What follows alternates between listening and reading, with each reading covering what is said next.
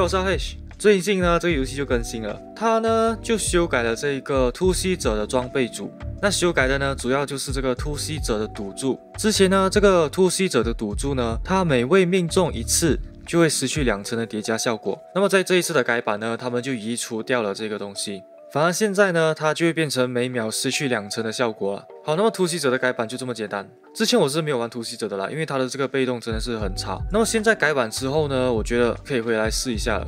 好，现在呢，我来先说一下我的这个配装啊。首先是这个四件突袭者，然后配一件土狼，然后再配一个伞兵坑。OK，那我们先来看一下这个突袭者，他的这个护甲跟背包所给的这一个天赋啊。首先，背包给的这个风险管理，它将这个突袭者的赌注呢，每层的叠加效果的武器伤害呢，从零点五变成零点六五，所以你每叠一层的武器伤害会更高。那么第二个叫做强化优势，将突袭者赌注的叠加效果从最大值五十增加至一百。那你在叠满之后，你就可以得到六十五的武器伤害。这一套呢，其实它是兼具了这个伤害和它的这个生存能力啊。那我在网络上面呢，会看到很多突袭者的配装，最主流的呢，就是他们把这个背包换成带有警戒天赋的这个背包。好，那么经过测试呢，这个警戒的天赋呢，确实会比这个风险管理的伤害来得高。但是警戒这个天赋它有一个严重的缺点，就是它在受到伤害后会中断此效益的效果。那也是有人测试把这个身体的部位呢换成。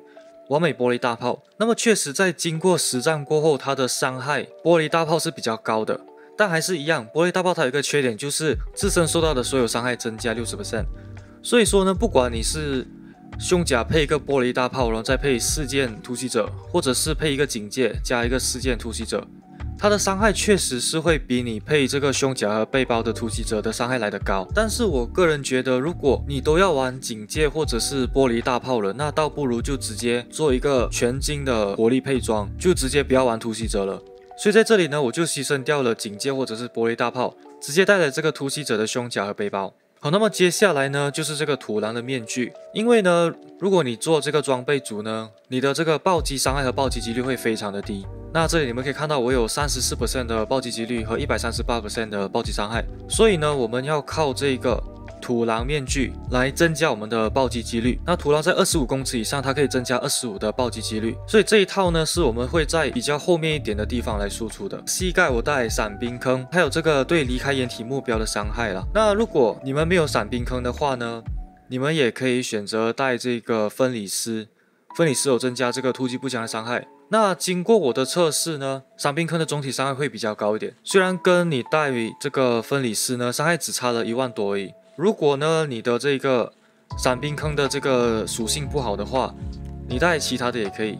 那武器的话，这一套呢，我主要是玩突击步枪。突击步枪呢，我选择这一把加强版的 G 三六了，原因是因为它有这个。八百六十三的射速，我们在这个七百五十射速以上的这个突击步枪呢，我们配的天赋是快手族。如果你的突击步枪是七百五十以下的，你就配压力使然。那么因为这个突袭者主要呢就是你要命中敌人嘛，所以呢我觉得这个射速也是很重要，因为它可以让你更快的叠加嘛。那么属性呢？如果突击步枪好的话，最好下面是对离开掩体目标的伤害。那么你可以配合这个闪兵坑，两者就可以打出很高的伤害。至于职业呢，我个人推荐的有两个，第一个是重机枪手。那重机枪手呢，它本身就有蛮不错的这个生存能力，比如说击杀给你装甲啦，也有这个装弹速度，或者是它也是有提升射速。但是呢，我个人呢，我带的是这个爆破专家，主要原因呢，就是这个爆破专家呢有给这个配件，那这个。配配件它增加了七 percent 的暴击几率，因为这一套的配装呢，它的暴击几率跟暴击伤害都非常低，所以我个人呢是选择爆破专家来提升我的暴击几率了。那么装备的属性呢，全部都校准暴击伤害，然后这个模组就看你个人调整了。那么总体的数据呢，我会把这个暴击几率放在三十五左右，因为呢你的这一个土狼面具呢，它会给你二十五 percent 的暴击几率，所以你也要有起码三十五 percent 基础的这个暴击几率。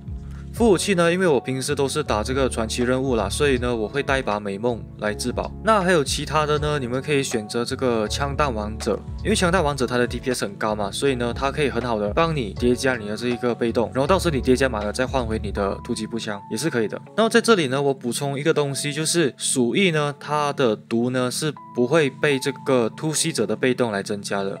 而且像这种轻机枪呢，它很容易火力压制敌人。那么那些被压制敌人，他们躲起来的时候呢，你就很难去堆叠你的这个突袭者的 buff 了。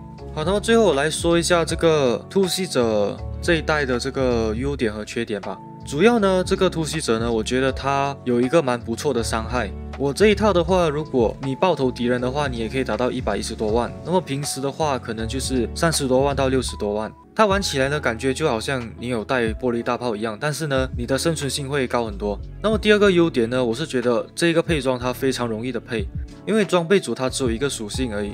所以你很容易去校准你要的属性，但是呢，它的缺点呢很明显，就是它的伤害没有比谈判者啊，或者是你配玻璃大炮加警戒的这个配装来的高。但是谈判者麻烦就是在你要射不同的敌人啊，那这个突袭者呢反而就玩起来就比较简单一点。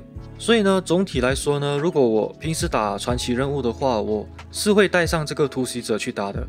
虽然它的伤害没有那么高，但是它很稳，它不会那么容易死。它其实还有很多很多的配装。有这个配 A C S 十二的散弹啊，或者是配天蝎座，那么这些配装呢，你们就可以去这个老师的 YouTube 频道来看了。